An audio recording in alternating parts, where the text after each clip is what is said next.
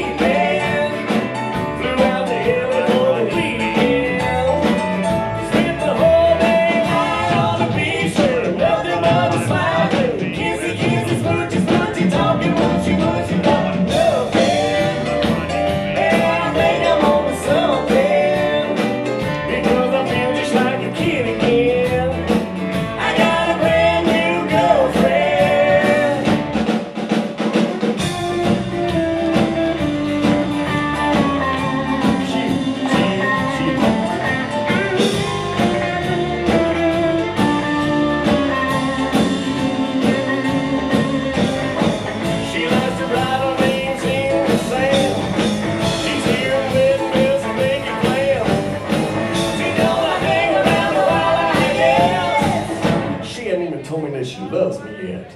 I got a brand new